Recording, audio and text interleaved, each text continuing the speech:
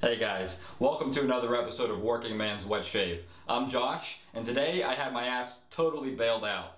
You guys know Sonia. Well, I was going through my soaps trying to figure out what I was going to use today, and I realized that I had used up all the cheap soaps that I had bought from MaggardRazors.com for Working Man's Wet Shave, and I had nothing to go on. Boom, Sonia to the rescue. She went to Target, got me Van Der Hagen shave butter. Is butter a carb? Yes. This stuff costs $5.09. I hear good things. Let's give it a shot. Let's see what happens. It definitely qualifies though for working man's wet shave under $10. Can't beat the price. Okay guys, it's got a little thing on here I gotta peel off. Maybe.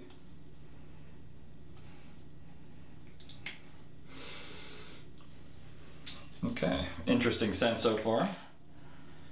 It's got a thick white consistency. Almost feels like suntan lotion. That's what it looks like.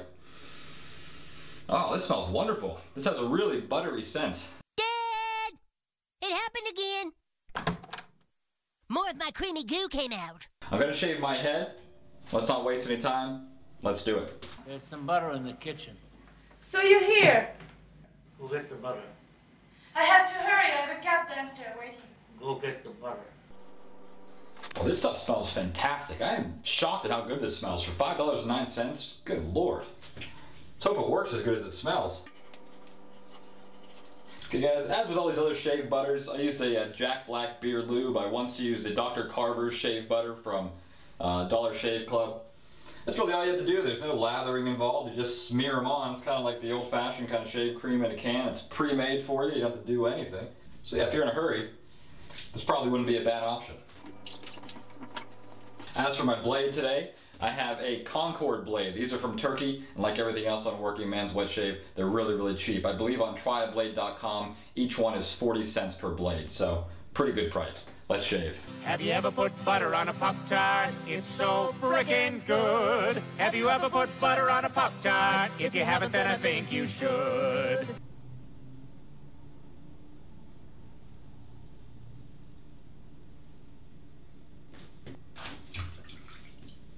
Stick, watch out. We might have a new contender for the best working man wet shave soap. This stuff's fantastic. So far I have no complaints with this blade.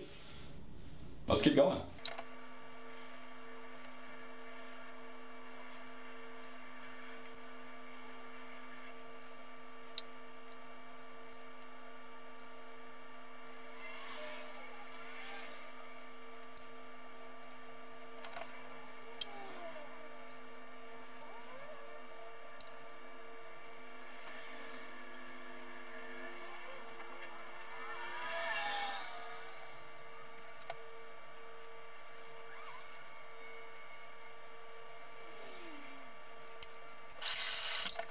Okay guys, after the first pass, I am extremely pleased with Van Der Hagen shave butter. This stuff is great. As I said, smells great, feels great.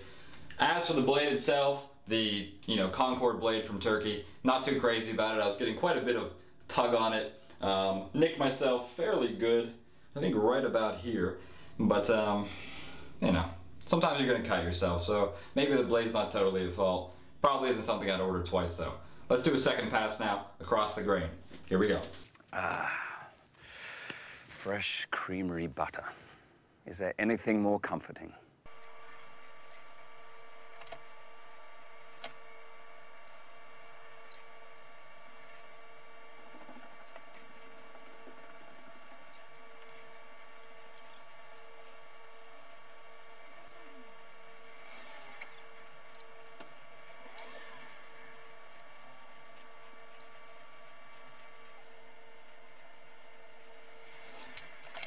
Okay guys, despite a pretty lackluster performance by that Concord blade, I still got a really, really great shave. And yeah, can't recommend Van Der Hagen shave butter more. It's not necessarily a traditional wet shave. You're not gonna use your brush. You're not gonna put anything in your shaving bowl. But hey, you know, not every day has to be exactly the same. Sometimes you guys are gonna be in a hurry. You're gonna want something you can just put on your beard or your head really quick. This stuff definitely fits the bill. And on top of that, it smells great. So I wanna thank the most beautiful woman in all of wet shaving, Sonia.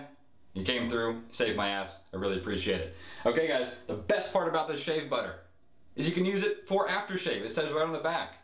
Don't waste it, don't wipe it off your head. Just rub it in. And you know, like I said, it smells so good that I'm not going to complain.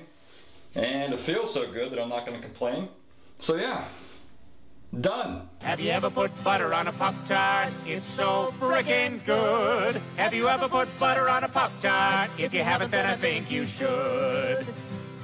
I was sitting in the kitchen one day and I was itching to fill up my belly with the piping hot jelly of the best damn treat in the world. He's talking Pop Tarts. And I saw a stick of butter and it almost made me shudder and scream like a baby girl.